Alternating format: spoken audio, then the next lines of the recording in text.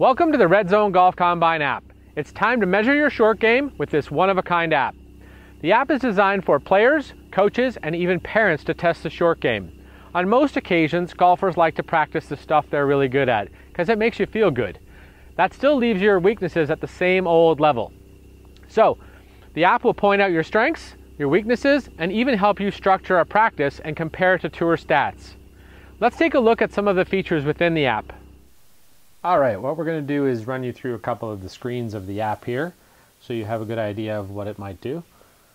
We're just going to go right to the test page. So if you'd like to start a test, we'll simply click a club. We'll select a shot, mid to high. Our image appears. Now what we're going to do is you're going to have your student or you are going to be hitting shots on your own down on the uh, academy or practice area. And you're going to simply start your test. So there's 14 shots within this test. And you'll hit a shot and then record your data after you've hit your shot. So you hit a shot down on the range. We're going to select it. It's going to go to seven feet. We simply hit the next button. It goes to the next shot. And you can see in the bottom that the tour average for every single distance is um, listed. So it goes up as it gets further away, obviously. So we're going to drag it here, 16 feet, we'll hit next. So you would proceed all the way through this whole thing. We're going to hit the back button and the back button one more time. We're going to go to the leaderboard and we're going to see today's leaderboard. And you'll see that I've been testing the app and the FRL is fractional remaining length left over from the shots that you've hit. So click there, there's a definition, okay, of what fractional remaining length is. It comes from Mark Broadie and his book along with uh, Sean Foley. Simply go back here. We're going to go to statistics. So you can see that screen.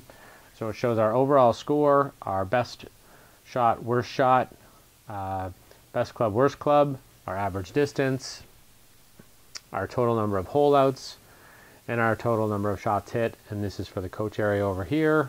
You can select a student. You can also select a category and pick a shot. So we'll scroll down to where the sand wedge was that we just hit. So there's a mid to high right there, done. There's all the shots we've hit with that club. Here's a chart of how we did, either got better or got worse. We're going to go back.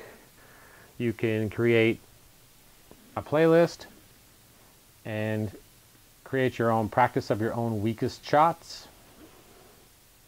So that gives you a brief overview of the Red Zone Golf Combine app. There are over 190 shots designed within the app that you can test from, and you can even create your own playlist so you can focus on those weaknesses and build your skill levels up.